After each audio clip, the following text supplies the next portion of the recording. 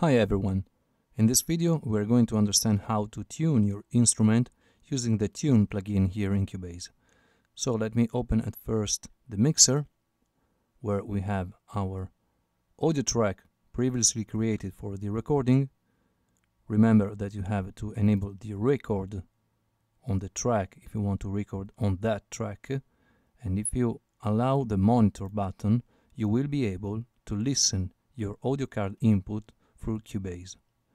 So from the Insert tab, I'm gonna select under the Tool menu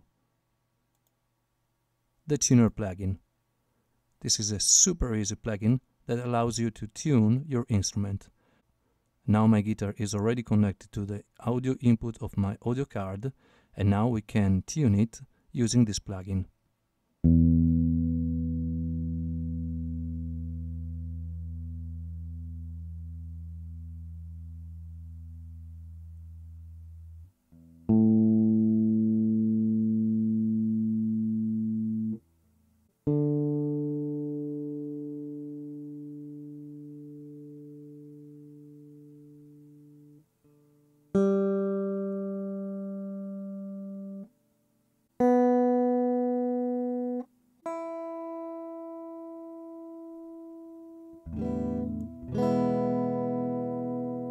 So with this very useful plugin you are able to tune any bass or guitar before the recording.